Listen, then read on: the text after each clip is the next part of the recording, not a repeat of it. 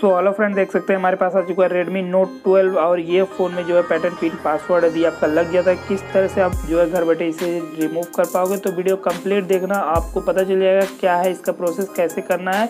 तो यहाँ पे सबसे पहले आपको पावर की और वॉल्यूम अप की एक साथ प्रेस करना है फ़ोन को स्विच ऑफ़ कर लेना है और उसके बाद आपके सामने यहाँ पे देख सकते हैं रिकवरी मीनू आ जाएगा। यहाँ पे जो है पूरा प्रोसेस आपको देखने को मिलेगा। यहाँ देख सकते हैं पूरा मीनू आ चुका है। यहाँ पे वाइप डाटा पे आपको सिलेक्ट करना है वॉल्यूम डाउन की से, और यहाँ पे पावर की से कंफर्म कर देना।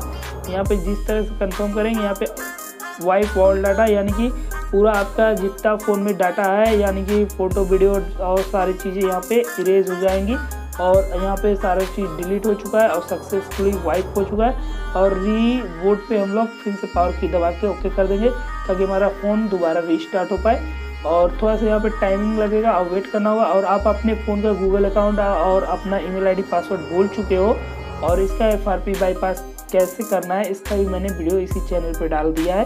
तो कंप्लीट देख लीजिएगा, यहाँ पे पहले हमने इसे हार्ड रिसेट किया।